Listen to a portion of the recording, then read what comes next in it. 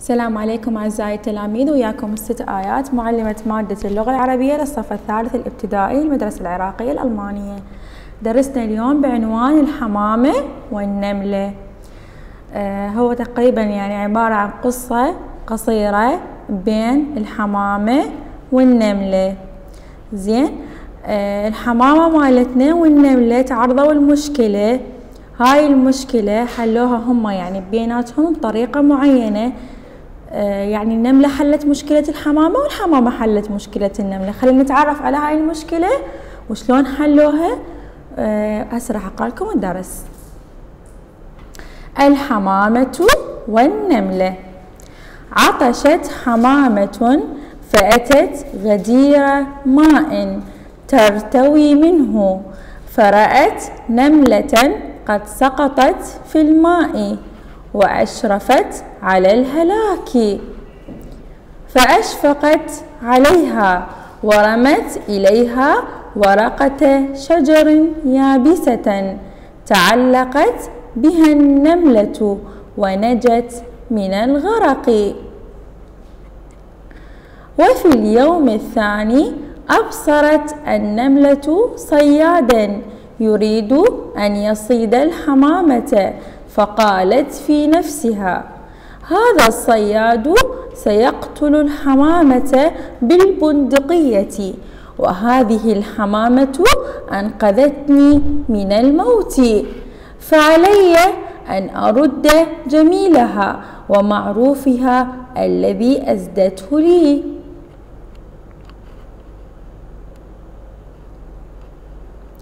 فدنت النملة من الصياد ولسعته في رجله ولما التفتت وصاح من الألم سمعت الحمامة صياحه فطارت ونجت من الموت. الآن أعزائي التلاميذ راح أوضح لكم المعنى العام للموضوع. آه قلنا هو الموضوع عبارة عن قصة. هنا الحمامة عطشت حمامة فأتت غدير ماء ترتوي منه. شنو يعني؟ يعني هاي الحمامة في يوم من الأيام عطشت. زين؟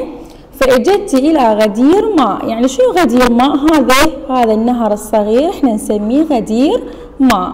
أي ما يجاري نهر صغير نسميه غدير. زين؟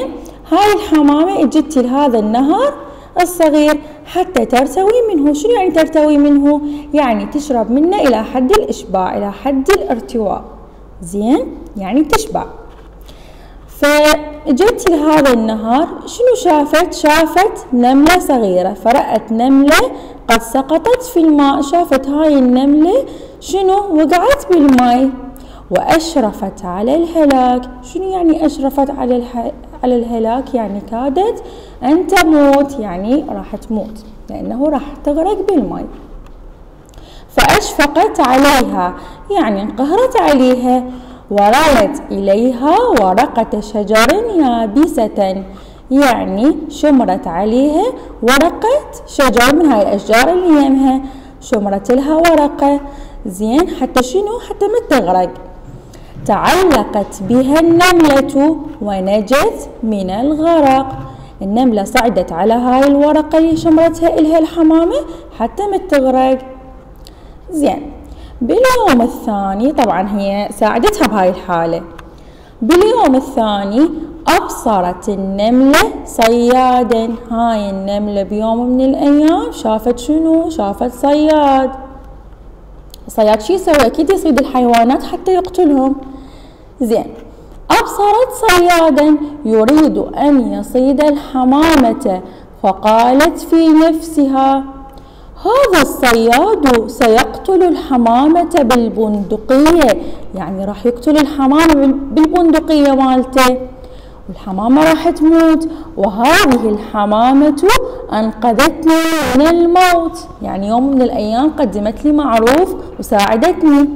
فعلي أن أرد جميلها ومعروفها الذي أزدته لي. يعني شنو أزدته لي؟ يعني قدمته لي. يعني لازم أرجع لها معروفها اللي قدمته إلي. إيش أسوي؟ إيش سوت هاي النملة؟ دنت النملة من الصياد. يعني شنو دنت يعني اقتربت من الصياد ولسعته في رجله. يعني شنو لسعته؟ يعني قرصته أو عضته بالمتداول يعني. لسعته في رجله. لما التفت يعني هو من لسعته شنو؟ صاح من الألم. لأنه تأذى. سمعت الحمامة صياحه فطارت ونجت من الموت. يعني الحمامة قدرت لما سمعت صوته إنه تطير وما ماتت. أنقذتها بهاي الحالة. هسه شنو شنو نفهم من هاي القصة مالتنا؟ نفهم إنه إحنا لما نساعد الآخرين راح يجي يوم وهذا الشخص اللي يساعدنا يساعدنا وإن كان هذا الشخص مو نفسه فرب العالمين راح يرسل لنا شخص معين يساعدنا لأنه جزاء الإحسان هو الإحسان. الآن أعزائي التلاميذ راح أعرض لكم المهارات اللغوية والكلمات الصعبة الجديدة اللي راح نتعرف عليها بدرسنا لهذا اليوم. زين نجي على أول كلمة. عندنا كلمة ترتوي منه. قلنا شنو يعني ترتوي منه؟ كلمة ترتوي منه يعني تشرب الماء إلى حد الإشباع.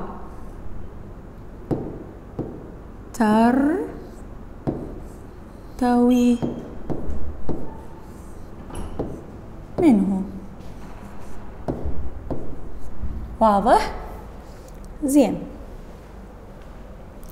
عندنا أشرفت أشرفت.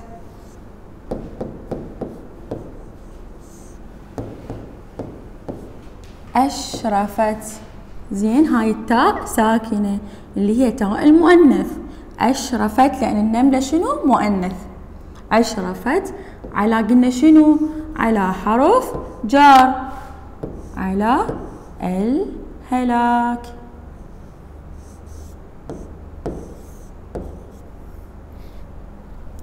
زين. أشفقت عليها أشفقت أيضا هاي التاء شنو؟ تاء المؤنث. أشفقت عليها. زين.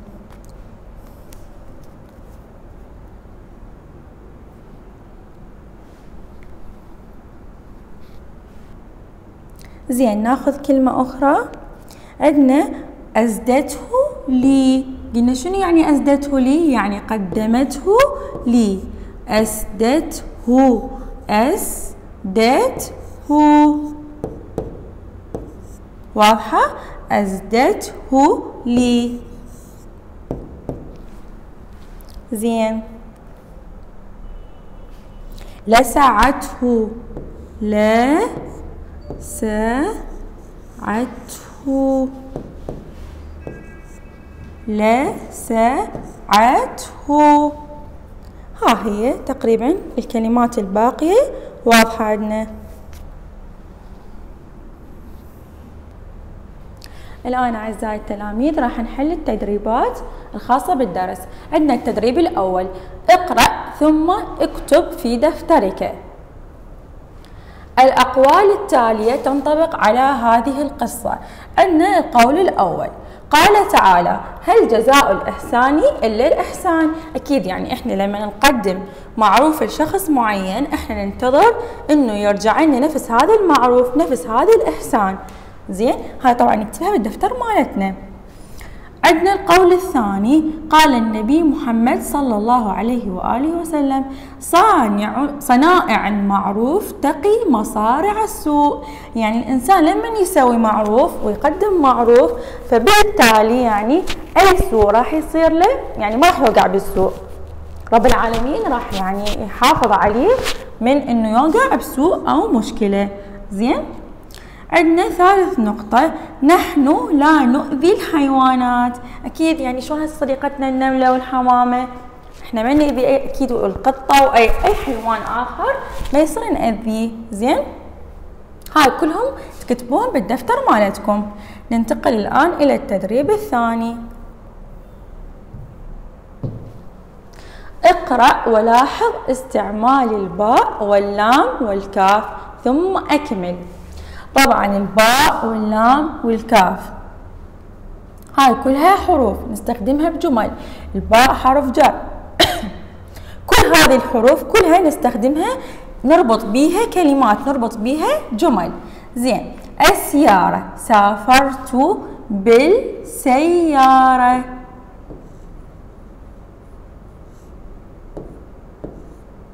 سافرت بالسيارة. طبعا عفوا عندنا مثال قبلها البندقية.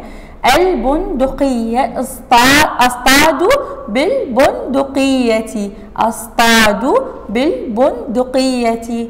زين يعني هو أكيد الاصطياد مال الصياد بيش يصطاد هو؟ الحيوانات يصطادها بمن؟ بالبندقية. السيارة سافرت بالسيارة حطينا باء. زين القمر للقمر نور. شنو خلى؟ خلى شنو؟ حرف اللام. ضفنا حرف اللام. للقمر صار للقمر نور. الورد للورد رائحة. للورد رائحة. زين. نجي على الشمس. الشمس للشمس ضياء. ضفنا لها حرف اللام. زين. النملة للنملة عيون. النملة إيش بيها؟ إيش حطينا لها؟ تاء ليش ما كتبنا نملة هيجي؟ نملة تاء طويلة لأنه النملة بيها صوت الهاء. نملة. زين؟ فضفنا التاء أم التسعة. زين. الجمل. أنت صبور كالجمل.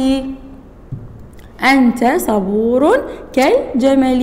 النمر شو نقول له أنت قوي كالنمر. دا أشبه أنه هو قوي. بمن أشبهه أشبهه بالنمر. واضح؟